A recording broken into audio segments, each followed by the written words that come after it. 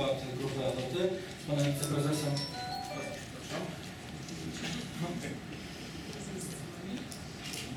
z panem wiceprezesem Pawłem Łapińskim reprezentującym grupę Adoty.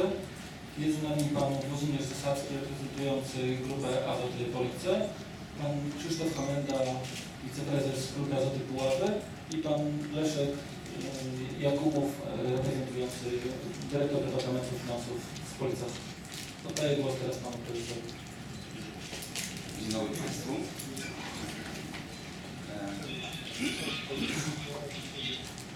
Pozwolą Państwo, że rozpoczniemy e, naszą prezentację od e, informacji ogólnych. Następnie omówimy e, wyniki finansowe grupy. Potem koledzy przedstawią wyniki finansowe kluczowych spółek z grupy. Prezentację zakończymy podsumowaniem i krótką sesją E, Pozwolą Państwo, że rozpocznę od najważniejszych wydarzeń, jakie miały miejsce e, w naszej grupie w drugim kwartale e, bieżącego roku. E, W kwietniu Grupa Azoty podpisała duży kontrakt z PGNiG na dostawę gazu ziemnego.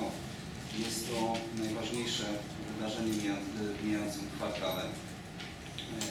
Nowa umowa wprowadziła mechanizmy rynkowe, które oderwały nas od cen taryfowych.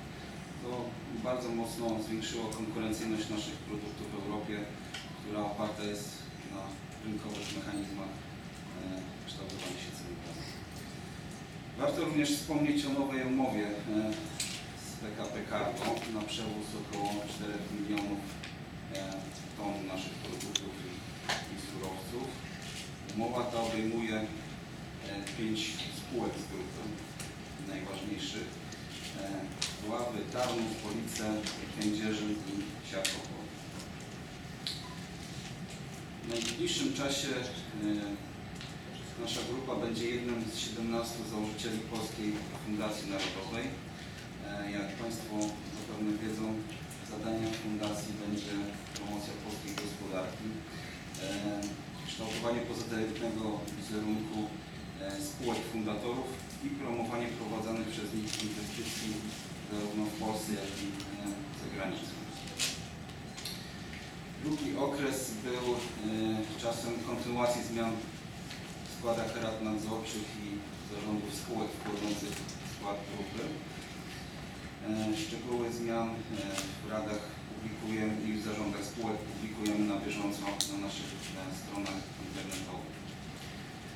Zgodnie z zapowiedziami e, Zarząd grupy prowadzi intensywne prace nad efektywną konsolidacją procesów biznesowych, aby obejm- obejmowały one wszystkie e, kluczowe procesy w grupie. E, Działania nasze są skupione na kilku strategicznych obszarach. Po pierwsze są to zakupy, po drugie sprzedaż, inwestycje i rozwój oraz IT. E, Konsolidacja obszaru zakupów jest już najbardziej zaawansowana i spodziewamy się pierwszych efektów już e, w trzecim kwartale bieżącego roku.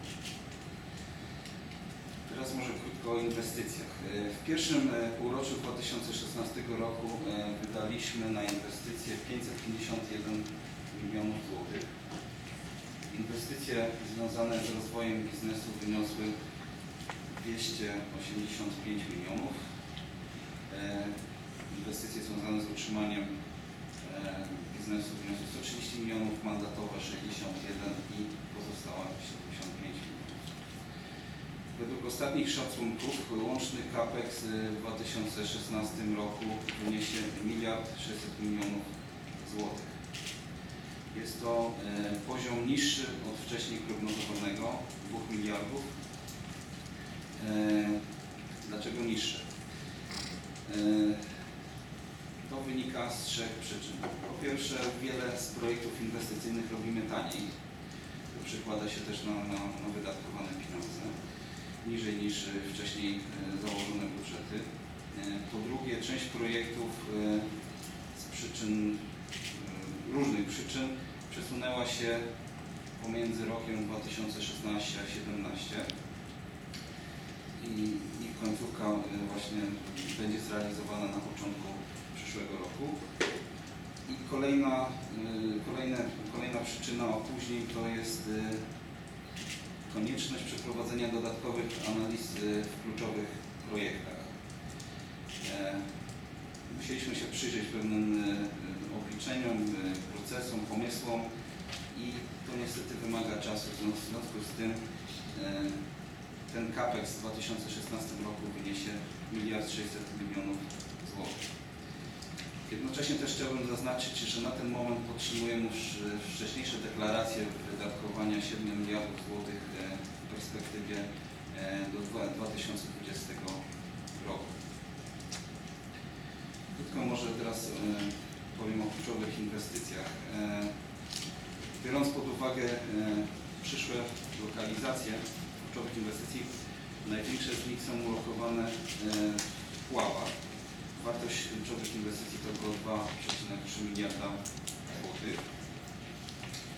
Dwie z nich e, elektrownia i rozbudowa instalacji do produkcji kwasu e, azotowego to projekty w fazie przygotowawczej.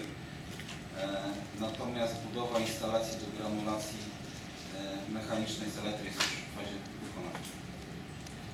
E, Kolejną e, istotną lokalizacją z perspektywy wydatków e, są Police.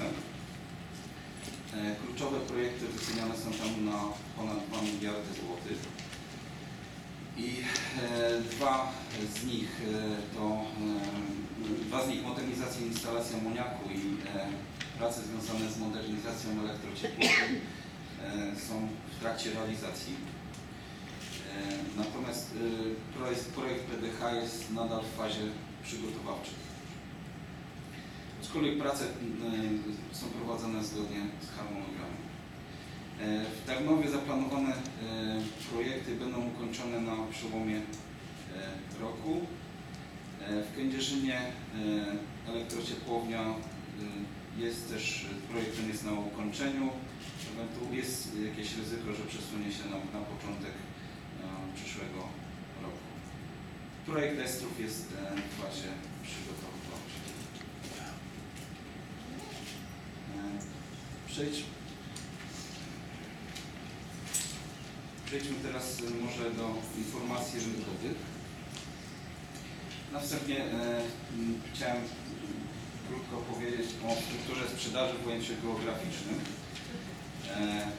Udział sprzedaży krajowej wzrósł do 56% z, o 3, e, ponad 3 punkty procentowe. E, udział sprzedaży w Europie e, spadł o 1,5 punkta i e, jest na poziomie 33,4%.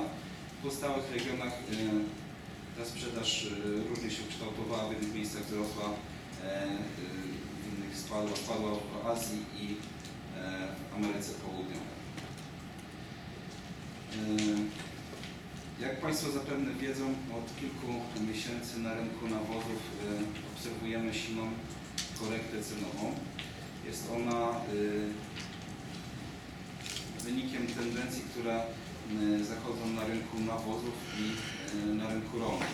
Nie bez znaczenia są też spadki cen surowców do, do produkcji nawozów i spadki kosztów transportu. Jest funkcja, spadają i, i przychody, i spadają e, niemal odpowiednio e, koszty. Na cenach benchmarkowych e, spadki cen sięgnęły od kilkunastu do kilkudziesięciu procent. Największe spadki, jak Państwo widzą, zostały zrealizowane na amoniaku, moczniku, na DAP. Ceny nawozów saletrzanych spadły powyżej 20%. NPK i siarczanamonu o 14%. Nosząc się do najbliższej przyszłości, e, chciałem powiedzieć, że spodziewamy się sezonowego wzrostu popytu e, na nasze produkty w najbliższych miesiącach. Jednak e, dotychczas było tak, że w, ostatnim kwartale te ceny wzrastały dość znacznie. W tym roku nie spodziewamy się tak znacznych wzrostów, jak to było w ubiegłych okresach w przeszłości. E, może powiem o głównym powodzie, właściwie dwóch. Po pierwsze to sytuacja na rynku rolnym. Rolnicy e, nie mają okazji do świętowania, jeżeli chodzi o ceny i zbiory. E, Druga kwestia to globalna podaż na rynku mocznika. Ona zbija ceny na całym rynku nawozów, a mocznik można powiedzieć jest takim punktem e, do wyznaczania e, cen e, nawozów azotowych. W związku z tym nadpodaż moc- mocznika jest dość istotna przy kształtowaniu cen. W obszarze nawozów wieloskładnikowych również nie spodziewamy się jakiejś istotnej postawy, po- poprawy. Oprócz niskich poziomów cen ten rynek może charakteryzować też relatywnie niższy popyt, e, dlatego że to są produkty bardziej złożone i rolnicy, zachowania rolników w momencie, kiedy e, zbiory nie są najlepsze i ceny są niskie, e,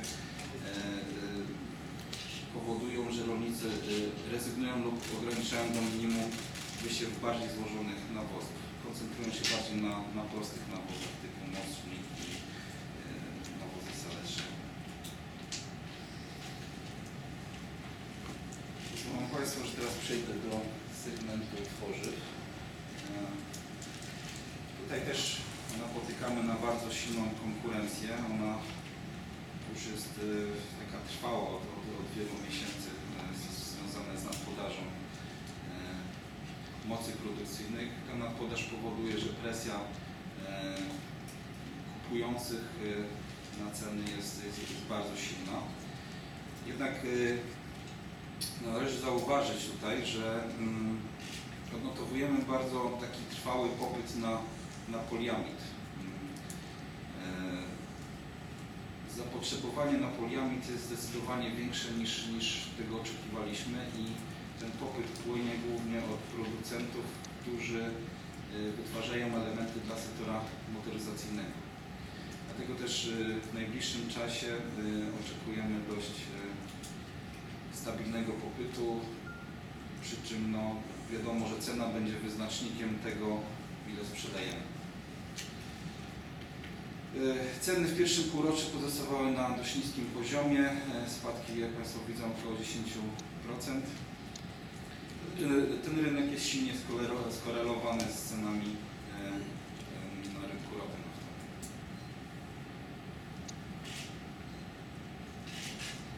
Przejdźmy teraz do segmentu chemii. E, Tu też mamy korektę która jest oczywiście pochodną zmiany na, na rynku surowców. Tutaj e, wyjątkiem takim jest melamina, która utrzymała swój e, poziom cenowy i tutaj można powiedzieć, że mamy premię w postaci różnicy na, e, do surowców, odniesień do surowców, do cen surowców. W najbliższych miesiącach spodziewam się utrzymania dużego popytu na melaminę i, i stabilnej sytuacji w zakresie kształtowania jej cen. E, W grupie alkoholi OXO też spodziewamy się popytu na dość zadowalającym poziomie. W drugim e, kwartale odczuliśmy wyraźne ożywienie e, ze strony firm e, wytwarzających e, plastyfikatory akrylanu. To naszym zdaniem powinno przełożyć się na dość wysoki popyt w, trzecim i czwartym kwartale. E, Popyt z kolei na plastyfikatory był przez cztery pierwsze miesiące bieżącego roku e, bardzo niski. Jednak w ostatnich dwóch miesiącach sytuacja uległa dość pozytywnej zmianie i w naszej opinii to dobrze rokuje na najbliższy okres. Surowce. Wam- Tutaj dominuje e, gaz ziemny oczywiście. E, Większość analityków przewiduje nadpodaż e, gazu ziemnego na, na rynku europejskim. E, W opinii ekspertów e, 2016 rok powinien być przełomowym rokiem ze względu na, na Stany Zjednoczone. Po raz pierwszy w historii Stany Zjednoczone staną się eksporterem netto gazu ziemnego, co w perspektywie powinno przełożyć się na, na niskie ceny e, surowca. E, Surowce ropopochodne powinny pozostawać w silnej korelacji e, z cenami ropy naftowej. Tutaj wyjątkiem może być ewentualnie e, okres wakacyjny, gdzie część instalacji jest zatrzymywana na różnego rodzaju postoje. W najbliższych miesiącach spodziewamy się też niewielkich spadków cen fosforysów, siarki Przejdźmy do wyników e, grupy. Jak wcześniej powiedziałem, e, mieliśmy dość dynamiczną sytuację na, na sferze cen zarówno produktów, jak i e, surowców. Musieliśmy reagować odpowiednio do, do rynku i do naszych konkurentów. W konsekwencji dokonaliśmy korekty cen naszych produktów. Jak Państwo widzą, e, przychody e, spadły o 9,3%, ukształtowały się na poziomie e, 4 miliardów 634 milionów złotych. EBITDA zanotował spadek e, o 83 miliony i ukształtował się na poziomie 695 milionów złotych. E, Gdyby odseparować e, zdarzenia jednorazowe, ten wynik na poziomie EBITDA wyniósłby 719 milionów złotych. E, Zysk netto grupy kapitałowej 356 milionów versus e,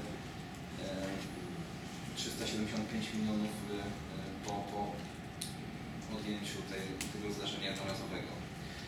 Warto tu zauważyć, że marża e, została na tym samym poziomie, to znaczy, że e, dobrze reagowaliśmy na, na, na zmiany e, cen surowców, to znaczy nasze spadki cen produktów były adekwatne do, do spadku cen surowców, dzięki temu udało nam się utrzymać marżę na tym samym poziomie. E, s- może przejdźmy do ustawy.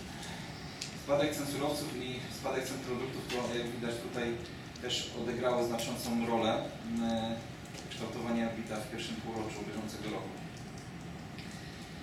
Jak widać e, 563 miliony zyskaliśmy na, na spadku cen surowców i poprawie efektywności ekonomicznej e, oraz wzroście wolumenu. E, Ten e, wynik został skompensowany o spadek cen sprzedaży i wzrost kosztów sprzedaży. Te dwa czynniki zadziałały na minus e, 640 e, milionów. W efekcie EBITDA e, zamknęło się na poziomie 695 milionów. Wyniki segmentów. E, Właściwie tak, nawozy, tworzywa i chemia to segmenty, na których zanotowaliśmy spadek przychodów. E, W nawozach wyniósł on 10, w tworzywach 16 i w chemii 7. E, Z wyjątkiem segmentu chemii e, poziom EBITDA był we wszystkich segmentach niższy niż w analogicznym okresie ubiegłego roku. W strukturze dominują nawozy z udziałem 59%, chemia 24% i tworzywa 12%. Warto też zauważyć, że w tym segmencie nawozy e, został ujęty odpis e, dotyczący należności zapasów e, w segmencie nawozów wieloskładnikowych na poziomie 24 miliony złotych. Więc gdyby nie ten odpis, ten wynik by był zdecydowanie lepszy, a marża, która w tej chwili jest 18%, bo e, marża na nawozach e, w segmencie nawozów utrzymała się na tym samym poziomie. Gdyby e, uwzględnić odpis, to marża by była wyższa. Tutaj takim negatywnym aspektem jest segment tworzyw, gdzie zanotowaliśmy ujemną EBITDA na poziomie e, 25 milionów złotych. Pracujemy nad tym, aby w drugim półroczu poprawić ten wynik. Tutaj jeszcze może e, mm, słowo o segmencie chemii, który e, no, bardzo pozytywnie e, zrealizowaliśmy wyniki. EBITDA wzrosło o 77%, marża segmentu wzrosła z 8% do 15%. e, Jest bardzo pozytywnie. I finanse. E, Zna- Sytuacja finansowa grupy jest bardzo dobra. W tej chwili nasz dług po uwzględnieniu lokat powyżej 3 miesięcy wynosi 189 milionów złotych. To jest bardzo niski poziom i, i bardzo bezpieczny. Wskaźniki płynności są na, na bardzo bezpiecznych poziomach. E, Jak widać rentowność EBIT-u i EBITDA jest na zbliżonym poziomie do, do zeszłego roku. E, EBIT jest e, 9,5% versus e, 10,5%. E, EBITDA jest 15 do 15,2, więc niemal identyczna.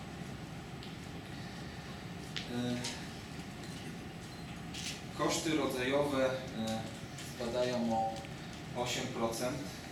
Jak widać to jest głównie zasługa spadku cen surowców energetycznych i ropopochodnych.